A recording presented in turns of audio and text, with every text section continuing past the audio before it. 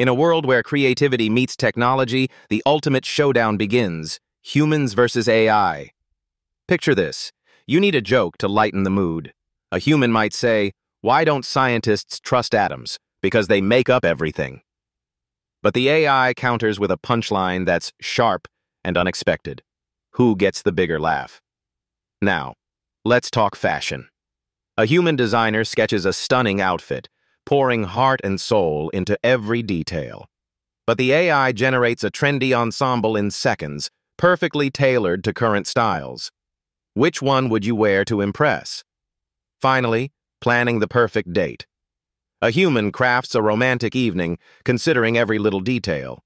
Meanwhile, the AI analyzes data to suggest the hottest spots and activities. Who creates the more unforgettable experience? In this battle of creativity, the lines blur. Is it the human touch or the AI's precision that wins? The answer might just surprise you. Please like and subscribe for more daily videos.